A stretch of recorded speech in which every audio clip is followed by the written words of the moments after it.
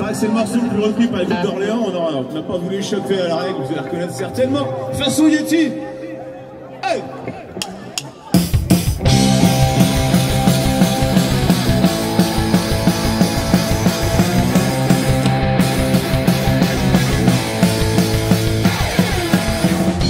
dream so hard to beat